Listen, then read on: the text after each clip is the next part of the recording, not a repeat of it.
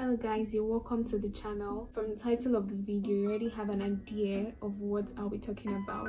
So i'll be telling you about what you need to know before you study medicine in abuad afe babalola university ado ekiti.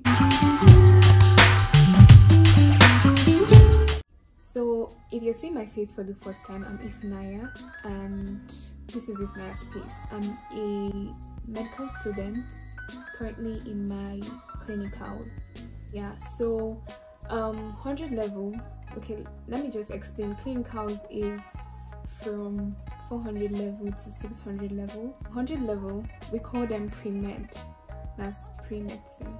Then 200 level to 300 level is preclinical first things first you want to study medicine in Abuad and then you go ahead you purchase your JAMB form you're filling Abuad as your first choice or yeah you fill in Abuad as your first choice. And then after that you um go for the JAMB exam.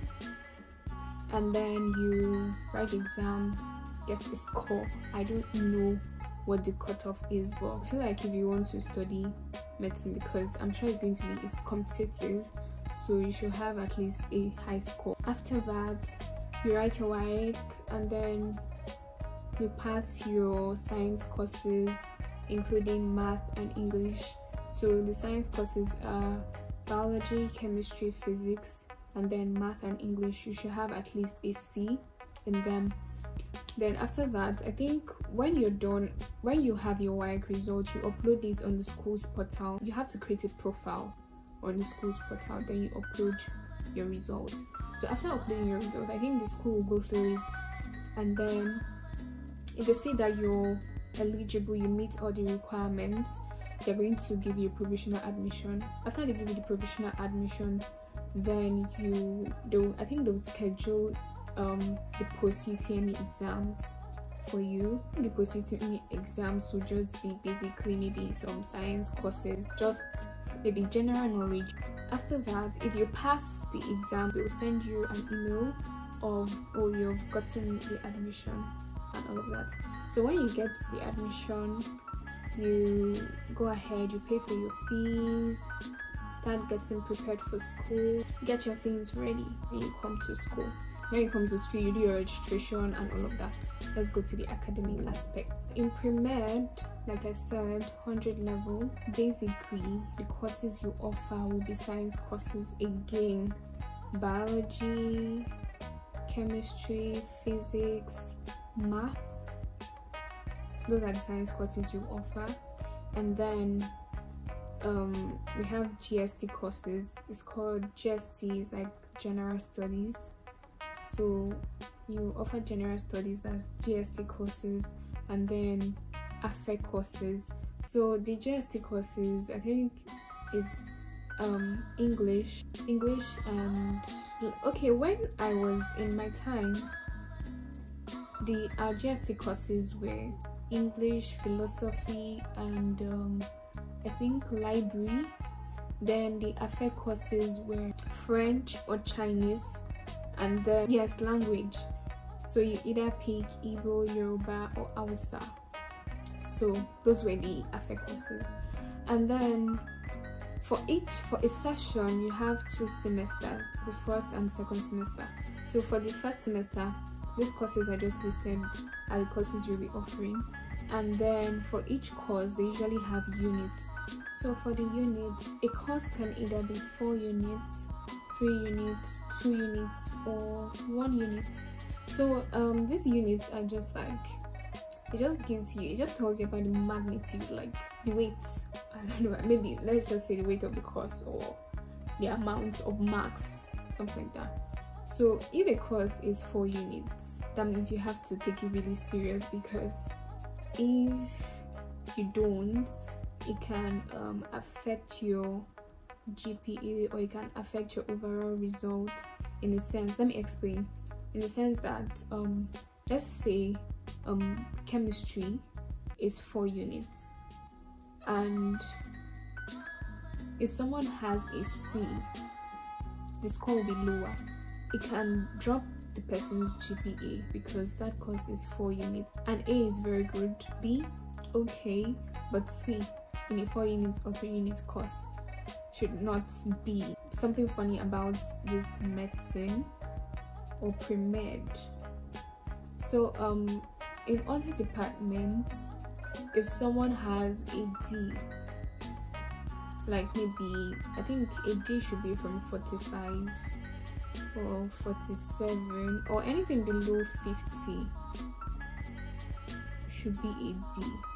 So in other departments if someone has a d it's not a problem like the person can still carry on. Like it's not a terrible score. I think it's when the person has an f that then it becomes a terrible score. But in medicine if you have below 50 if anyone has below 50 that person will be dropped. So that's to tell you that one course is very like all your courses are important. Even the ones okay someone can say oh maths english chemistry biology physics.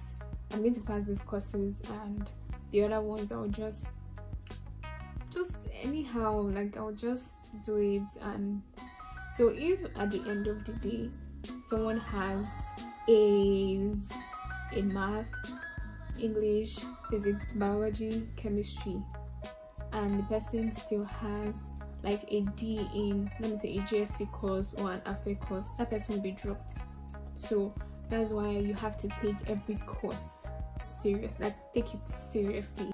So the goal is to make sure you pass all your courses and courses that have large units, maybe four units, three units, make sure you don't um, flop in them. Yeah, and there are people that would really want to get 5.0 because in pre-med okay in my time it was the only um, time we used gpa was in 100 level but from 200 level we did not use gpa but now i think 100 200 300 they now use gpa i'm sure there are people that, that want to get first class 5.0 so first class is from 4.5 to 5.0 so if you really want to have a first class you have to work really hard that's one and if you want to have 5.0 that's another one on its own you have to make sure in all your courses you um, make sure you have an A in all your courses and it's attainable. It's not something that's difficult. You have to make sure you're doing everything, your assignments, make sure you attend classes, study past questions, when you don't understand something you ask questions to ask your friends or someone you think might maybe heard what the teacher said what the lecturer said or understood what the lecturer said. So that's um, about it. Then for your second semester second semester is is the same with the first semester but the only difference is that you do a different course like let's just say let me not really a different course. Your math is still there. English is still there like gst then physics biology chemistry they're all still there. I think the only difference might be one of the gsts maybe you might do a different gst and i think for second semester the different gst we did was um, I think Nigerian people and culture. So that's just the difference, I guess. And then for the AFE courses, I think we still did French. Like I did French, like you either do French or Chinese, and then then for language you do either um, Igbo, Hausa, or Yoruba. And if I'm going to give any tip, what I'll say is attend your classes yeah attend classes very important. Make sure you sit in a place where you can see the board where you can hear the lecturer very well and yeah where you can pay attention and just get the best from the class. Then secondly i would say do your assignments. Make sure whatever assignments you're asked to do do them. And then practice with past questions I think you will find these past questions probably in the library. You can find them in the library. Yeah, practice past questions. Then read, read, read, read, and read. Make sure you read. And if you don't understand something, ask questions. You can ask your friends. or you can ask the lecturer make sure um you're focused and concentrate don't be easily distracted because on campus there are lots of things that can distract you trust me. Lastly i'll say the most important is god. God god god god. Make sure you have a relationship with god because he's the one that's going to help you throughout med school. Like med school is stressful. It's stressful. It can be overwhelming even though not now. So you really need god to help you and to guide you.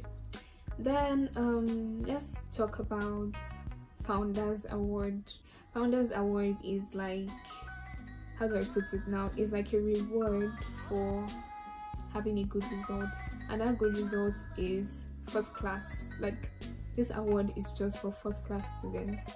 So that's from 4.5 to 5.0 and they have um, each category. So that's about it. And yeah just do your best.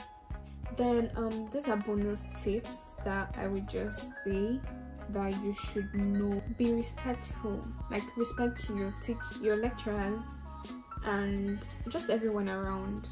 Because in school they'll say we are not just training you to be the best. We are we give training. I think i don't know how they say it but i think it's something like we certify you in character and also in learning. So be respectful to your lecturers to everyone you see around the teaching and non-teaching staff and your classmates everyone you see around just be respectful to everyone. Then um secondly i would say obey school rules. Yeah i think there's a handbook. Let me see if i can find it. So um this is the student handbook. Yeah and you have the rules and everything you're supposed to do. So i think they're going to give it to you when you come but make sure you're very like you obey the school rules. Yes it's very important. Obey the school rules. And um lastly i would say just be a good student. Yeah not for pretense or just be a good student. Obey the school rules. And you'll be fine. Yeah and our college um, code like because each college has a college code or college color. So for us for medical and health sciences we wear it. If you've watched up to this extent thank you for watching. And please do well to share this video to anyone you feel or think will be needing it.